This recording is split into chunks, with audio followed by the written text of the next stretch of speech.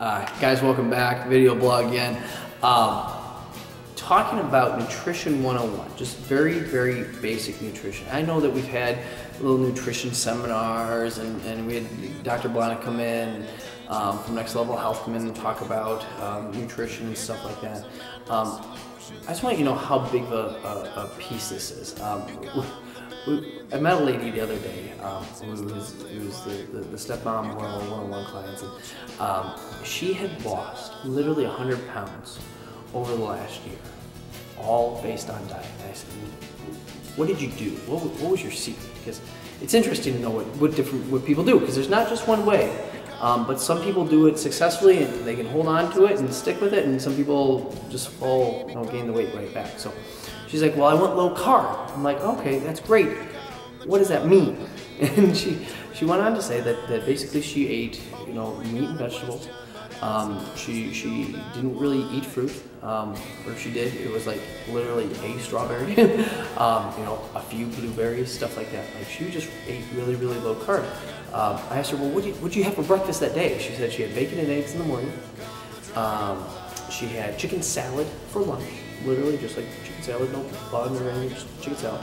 And then um, for dinner, she had a big salad with on And um, she said that's it. it was, if she snacks, she has you know some almonds um, or uh, what else, some beef jerky or whatnot. And, and really, she said that was her thing. And it, she was 55-ish years old, 52 years old, um, and she it took her a year, and she she lost 100 pounds doing nothing but this. And so I just want you to realize, and I think you do, but how important um, this nutrition thing is.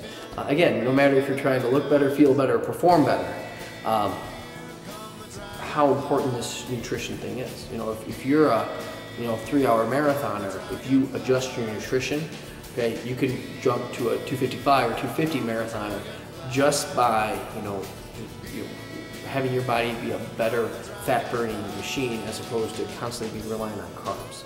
Here's what happens when people initially go to paleo. And so I wrote this up here. I'm going to come back to this 80, 100% thing in a second.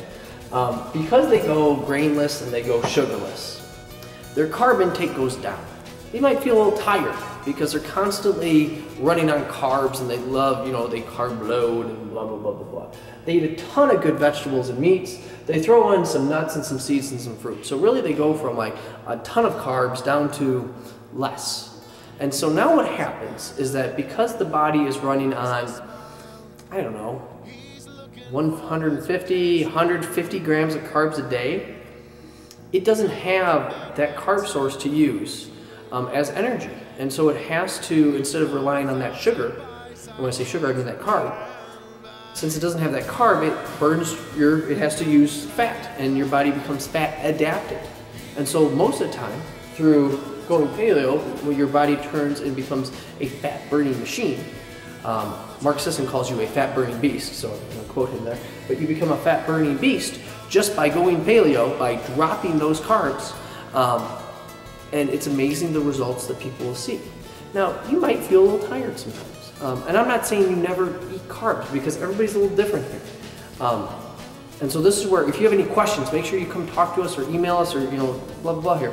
Um, if you're a high-end athlete that is, you know, working out five, six days a week, you probably should eat more than 30 grams of carbs a day. You should probably have 150 grams of carbs a day or something. Now, it depends on who you are in your situation. If you're trying to drop a lot of weight and you have weight to drop and performance is not your thing, if, if looking better and feeling better is your thing, well, then you probably can go with 50 grams of carbs a day and be fine. You might get a little groggy at times, especially at the beginning, but you'll get a lot better at it. The last thing here, in the way of trying to attach a percent to paleo. Well, I'm 80% paleo half of the time. I don't know what that means. But anywho, um, to be 80% paleo, to be 100% paleo, to be 90% paleo, I don't really, I don't really know. I don't want to attach a number to these things. Um, and I don't really know, I know people talk about cheat days and stuff like that, but I, I want you to know that, that, this, we don't see this as being a, a, diet. We see this as being a lifestyle. Okay, we want you to sleep a ton because you need to sleep a ton so you can rest and recover. Uh, and there's so many good things that happen with sleep. We want you to de-stress because stress is just one other form of uh, thing that can cause inflammation, just like stress on your body when you pick up a really heavy deadlift, you know, or squat really heavy, how your legs get sore. That internal stress can you know, work the same way, you know, from your job or whatever it may be. Um, but then the nutrition is, is the same way.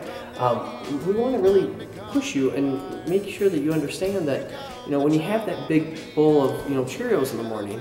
Uh, versus, hey, I'm gonna have some bacon and eggs, or I'm gonna have last night's pot roast, you know, with some veggies or whatever it may be.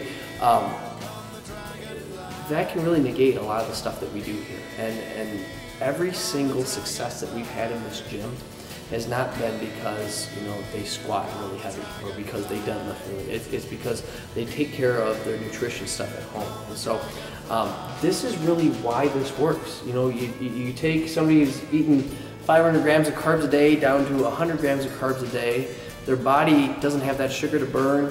It goes to the fat. All of a sudden, they start losing fat, and um, it's pretty stinking awesome. So, guys, Paleo 101, Nutrition 101. Um, if you have any questions or comments or, or, want us to discuss anything specific within anything nutrition, um, let us know.